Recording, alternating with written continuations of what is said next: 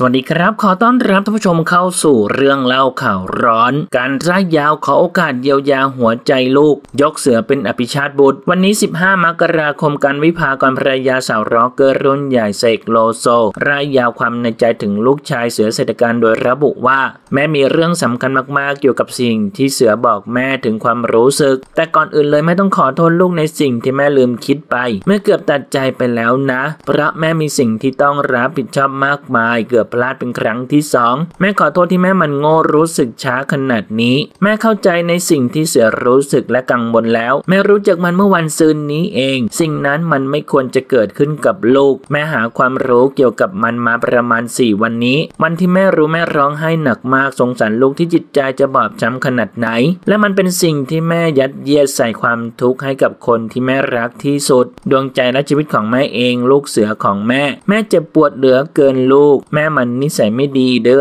ร้านเอาแต่ใจตัวเองใจร้อนเกินไปไม่รู้จักฟังความคิดเห็นและเหตุผลใครเลย จึงเท่ากับว่าแม่ทำร้ายชีวิตตัวเองอย่างจัง จะมีโอกาสบ้างไหมที่แม่จะถ่ายโทษที่ร้ายแรงนั้น แม่เป็นเสือแม่ก็คิดไม่ออกว่าจะให้โอกาสเขาได้ไหม แต่สิ่งสำคัญคือความรู้สึกนั้นใครเป็นคนทำก็ต้องเป็นคนรับผิดชอบ ต้องแก้ไขโดยใช้ความรักและบริสุทธิ์ดูแลรักษาให้ต้นไม้ต้นนั้น ด้วยจิตสำนึกที่แน่วแน่ แม่เป็นคนรับผิดชอบปัญหาทุกอย่างที่แม่ก่อมาตลอด ไม่เคยหนีหรือทิ้งปัญหาไว้ให้คนอื่นเดือดร้อน โดยลักษณะนิสัยแม่อยู่แล้ว และสิ่งนี้กลับเกิดกับเสือแม่รู้ถึงกับซูดร้องให้เสียใจมาก ได้แต่โทษตัวเอง แม่ไม่มีวันให้อภัยตัวเองได้เลย จากลูกที่สดใสแววตาร่าเริงไม่หมองคล้ำเครียดแบบนี้ แม่จะขอร้องให้โอกาสแม่ได้ดูแลต้นไม้ของแม่ได้ไหม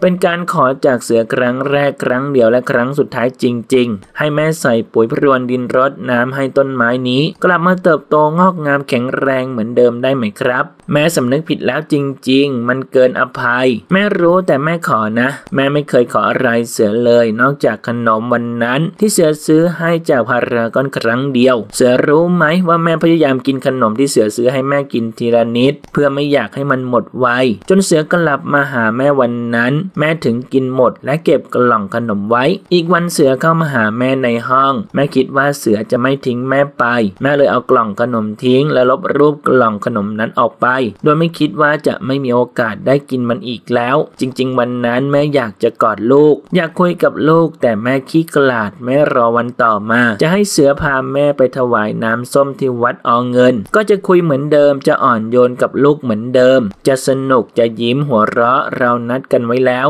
แม่ก็เลยนอนหลับแล้วแม่ก็ไม่พบลูกอีกเลย ตั้งแต่ 27 ธันวาคมจนถึงวันนี้ แม่สุดแสนทรมานไม่ค่อยได้ดูแลพ่อเต็มที่ทั้งๆทที่พ่อต้องการแม่แม่กลับมาคลุกอยู่บ้านเสือเพียงหวังว่าสักวันเผื่อว่าเสืออาจจะผ่านมาแถวนี้ แม่ไม่ค่อยกล้าหลับเลยตั้งแต่วันนั้นเพราะกลัวคลาดกับเสือถ้าเสือมา แม่นอนน้อยมากง่วงขนาดไหนก็พยายามไม่หลับและจะรีบตื่นไม่นอนแบบไม่รู้สึกตัวเหมือนเดิมแล้ว ขอบคุณมากค่ะลูกที่มาช่วยซ่อมครอบครัวลูกเป็นอภิชาติบุตรที่แท้จริง แม่เป็นแม่ที่โง่เขลาไม่สมกับเป็นแม่ลูกเลย แม่จะทำให้ต้นไม้ของแม่ฟื้นสดใสเหมือนเดิมให้ได้ แม่จะไม่ยอมขึ้นชื่อว่าทำลายชีวิตและอนาคตที่สดใสของลูกเด็ดขาด ถ้าเป็นเช่นนั้นแม่ก็ชั่วมากเกินไปแล้ว จะมีหน้าอยู่บนโลกนี้ได้ไงและอายที่สุด ถึงไม่มีใครรู้ก็ตาม แม่ผิดต่อลูกครั้งนี้ครั้งแรกนะขอโอกาสให้แม่แก้ไขได้ไหมครับ ลูกแม่แฮชแท็กสุดแต่ใจเธอจะเห็นดีเพียงใด คิดแล้วน้อยใจ